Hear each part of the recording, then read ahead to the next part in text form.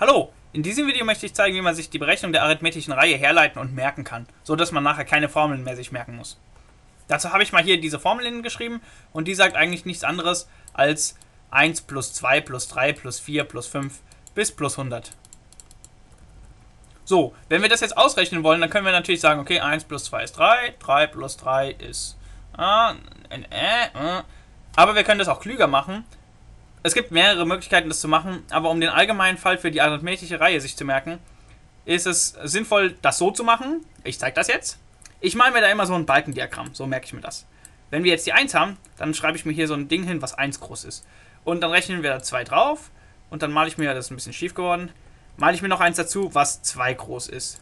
Und dann, weil wir auch noch eine 3 haben, male ich mir eins dazu, was 3 groß ist. Und dann male ich mir auch noch eins dazu, was 4 groß ist. So, und das geht natürlich dann bis 100 weiter. Ich wollte es jetzt nicht so in die Enge treiben. Der kluge Trick besteht dabei einfach, dass ich sage, ich male genau dasselbe noch einmal, drehe es um und setze es oben drauf. Das sieht dann so aus. So, bisschen Chap, aber man kann es erkennen. Das können wir auch mal wegmachen hier.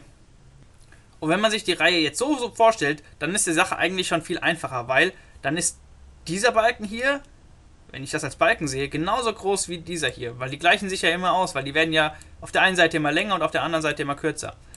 Dieses Prinzip kennt man auch schon und das wurde einem nie gesagt, finde ich, dass das so unglaublich wichtig ist. Wenn man in der Grundschule oder wo auch immer irgendwo Dreiecke berechnet, dann denkt man sich einfach, was wäre denn, wenn da ein zweites Dreieck noch mit dran wäre? Und dann berechnet man einfach diese Seite mal diese Seite, dann hat man das Viereck und dann sagt man, okay, wir teilen das durch zwei und schwupps habe ich die Fläche meines Dreiecks. Und genau dasselbe machen wir hier auch. Wir sagen, wir berechnen einfach das hier mal das hier und dann teilen wir das Ganze einfach durch diese zwei hier. Und dann haben wir genau auch unser Dreieck berechnet. Weil wir tun nichts anderes als einfach die Fläche berechnen, indem wir das ganze Zeug hier berechnen. So, wie berechnet man das jetzt? Ähm, wir gucken einfach, was ist jetzt hier in unserer Reihe das erste. Das ist die 1, das haben wir rausgefunden.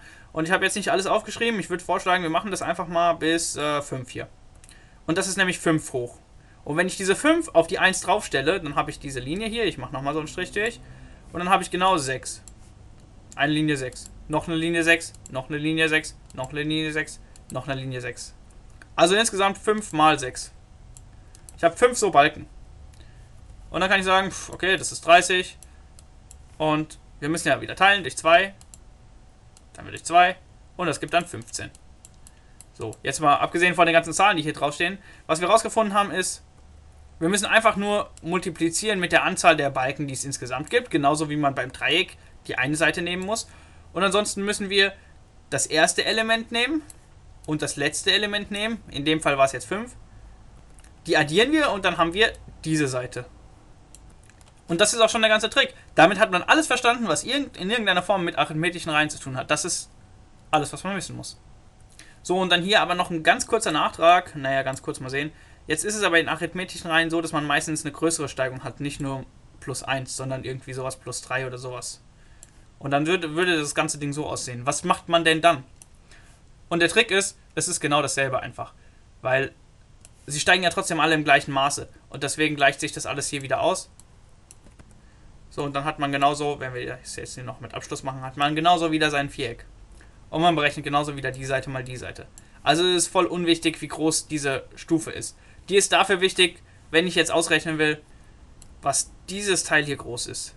Dann ist wichtig, wie groß die Stufe ist.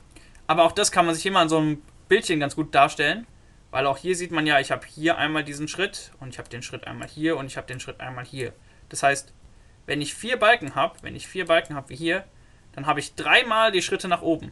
Das heißt, dieses Teil hier ist einfach so groß wie dreimal der Schritt ich weiß nicht, ich mache jetzt einfach mal so der Schritt rein.